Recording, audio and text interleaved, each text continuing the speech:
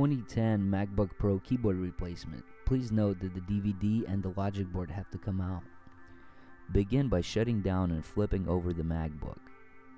The back cover is attached with 10 Phillips head screws. Start with the 7 short screws first, starting at the top left and going around the contour of the MacBook. Next, the 3 long Phillips head screws.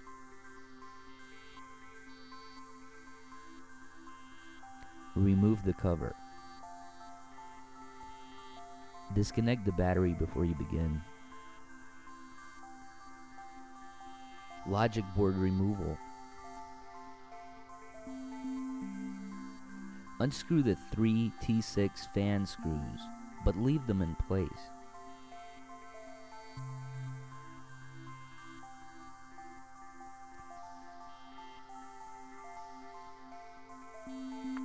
You can now lift up the fan and disconnect it. Disconnect the speaker, then the Wi-Fi cable, the DVD drive and the hard drive, now the trackpad. Next the keyboard. Make sure to flip up the keyboard latch before disconnecting it. Lift up the latch on the backlight as well.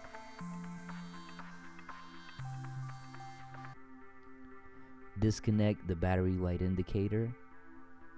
Pry back and disconnect the LVDS cable. Remove the 7 logic board T6 screws.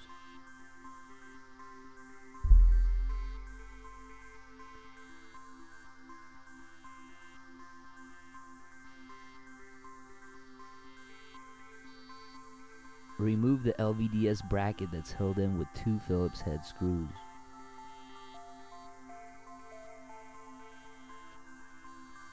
This is a very important step. Use tweezers to pry back the glued in microphone.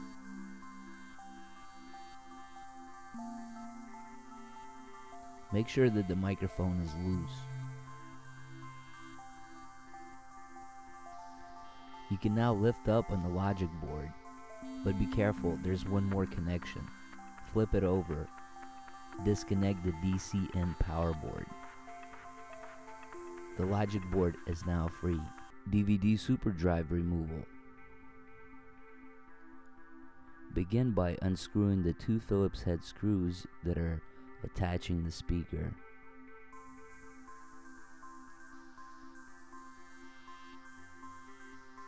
Once removed, you can push the speaker out of the way.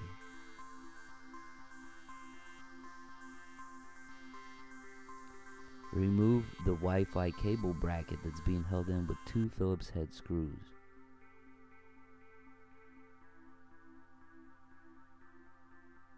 Remove the three Phillips head screws that are holding the DVD drive. Lift up and remove the drive. Keyboard removal. Remove the mid wall that's being held in with two Phillips head screws, one on the top and one on the bottom. Now that the wall is out of the way, go ahead and detach the power button. It's screwed in with two Phillips head screws. You will have to separate the Wi-Fi antenna cable and the speaker cables to get to those screws.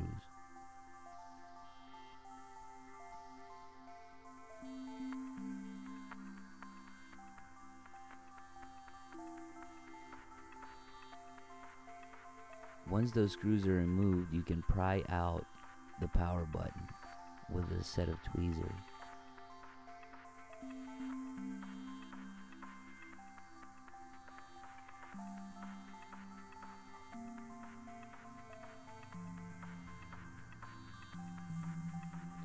Now you can pry out the three layers that are covering the keyboard. The first layer is the backlight. The second layer is the light distribution plastic layer. And then the third layer is the blocking layer.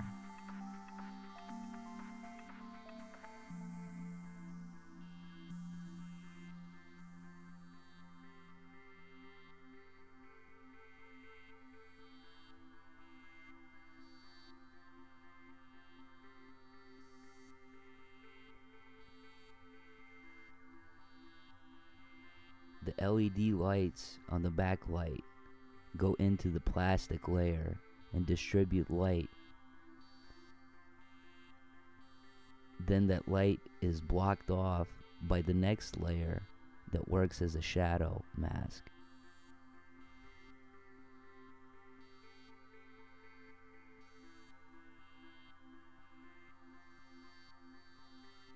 Remove the 51 Phillips head screws.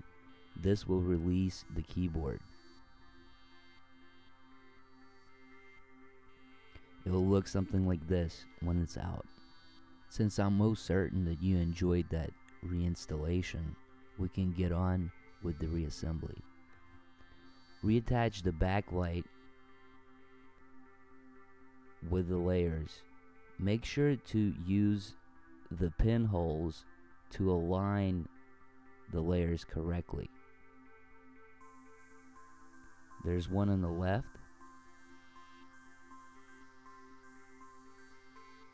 And one on the right.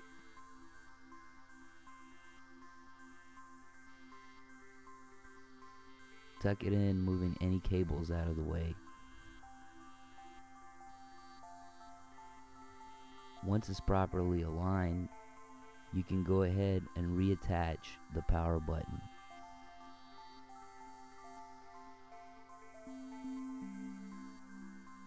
With two Phillips head screws. Reattach the mid wall. It is also being held in with two Phillips head screws.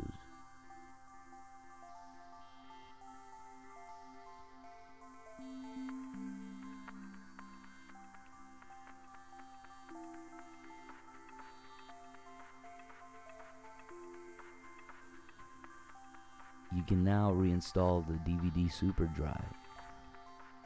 Place it in at an angle and drop it into its socket.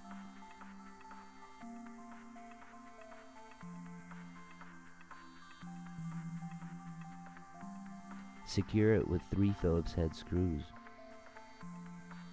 One in the top left corner, one in the bottom left corner, one in the back. Reattach the Wi-Fi cable bracket. Secure it with two Phillips head screws.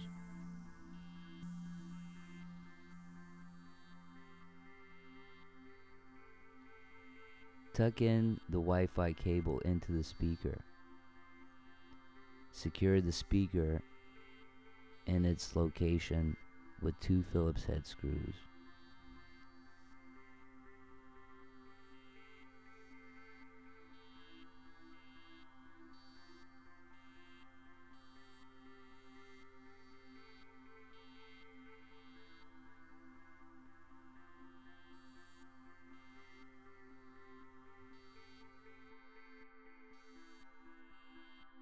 Logic board reinstallation. Reconnect the DC in power board first.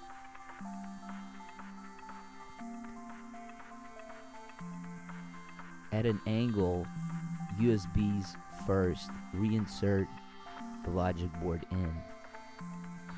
Prying all of the cables out of the way, gently drop the board in.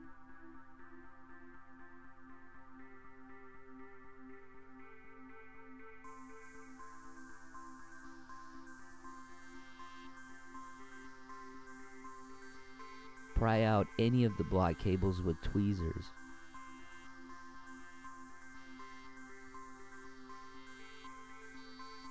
Reinstall the 7 Logic Board T6 screws.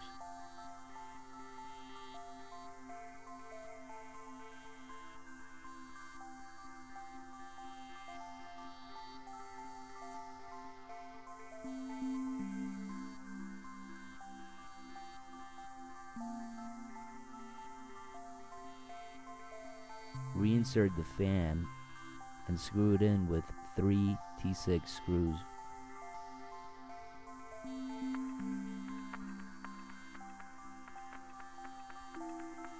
Reconnect the fan to the logic board.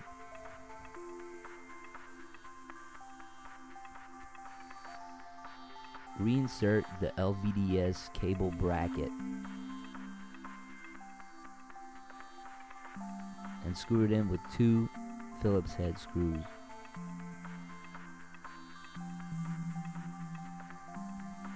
Reinsert the LVDS cable. Be careful, you can damage the socket. Make sure to lock it in. Reconnect the battery indicator. Reconnect the speaker.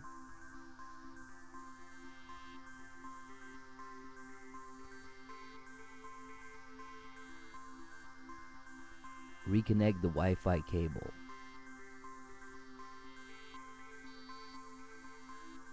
Reconnect the DVD drive, then the hard drive, then the trackpad.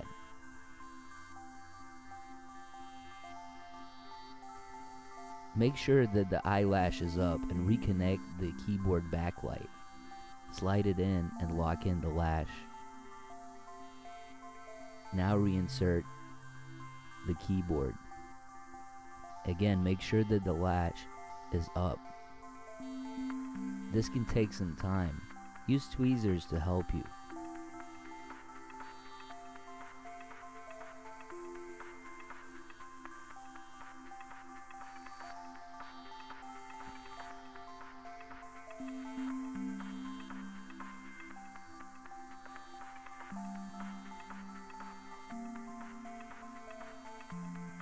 Once the keyboard is reinserted, make sure to push down on the eyelash.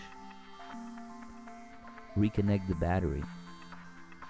Place the cover back on and secure it with 10 Phillips head screws, 7 short screws first starting at the top left and going around the contour of the MacBook.